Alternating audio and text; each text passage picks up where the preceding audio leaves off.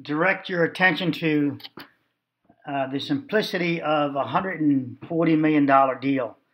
That $140 million deal by the courts, the, uh, the last person, the people they want to step in and be part of the development issue um, before it gets off the ground would be the Army Corps of Engineers. This is why I think that they're leaving the footprint of the structure in place. The footprint, of the outer walls.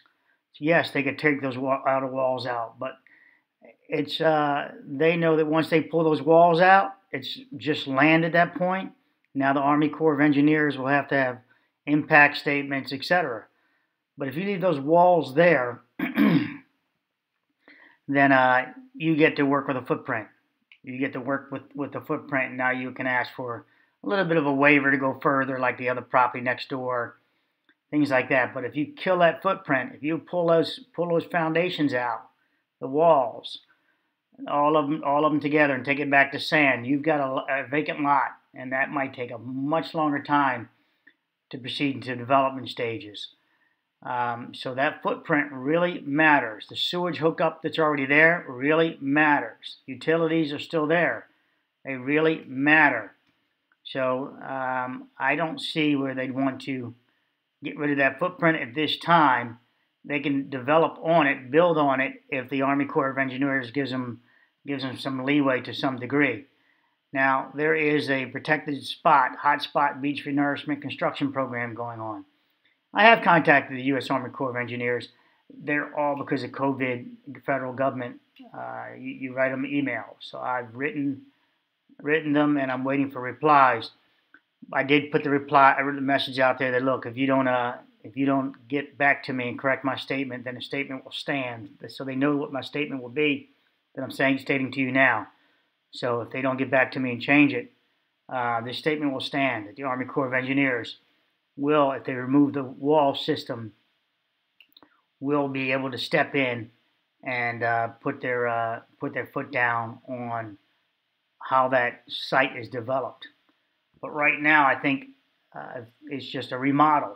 Yes, it's all gone, but the walls, but it's still a remodel. That's still a construction remodel under under Surfside's building codes, probably. Um, interesting enough, you click on Surfside and you get this district, uh, Jacksonville district website. If I go back by one, let's go back. The, the, the, floor below. Where does it hit the floor below? Hold on. It hits. Sorry, I had I, I, I told him that uh, it was something else. Um, so let me go back one. So if you go back one, you see here's the different counties, shore protection links. Interesting enough, you click Surfside and you get you get this dead nothing. You get this.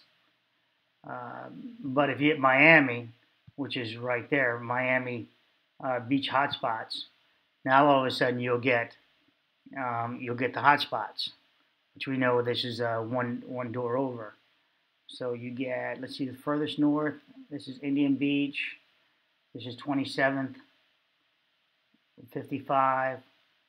Um, hmm. Wait a minute. Yeah. So let's try 55. Let's see what this looks like.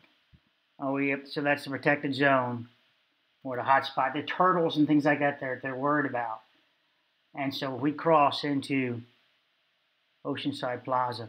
So you can you can go down this rabbit hole if you want and and see it, but you can see that look at this for example. Construction access. Um, this is for re re rehabilitation of the of the uh, sands, etc. That they are adding in um, beach fill template. Yeah, that they are adding in some um, some soil, uh, soil, some sand, and they tell you where they source it from. Let's see if it's over here once. Okay, right here. So, what is the purpose of this project? What is the beach uh, renourishment program? and he sees Miami-Dade, erosion control, hurricane protection. Um, Surfside, the U.S. Army Corps of Engineers, in coordination with Miami-Dade County and the town of Surfside, will place approximately 330,000 cubic yards of beach quality sand hauled by truck from an upland mine, so it comes from a mine, to renourish the public beach in Surfside.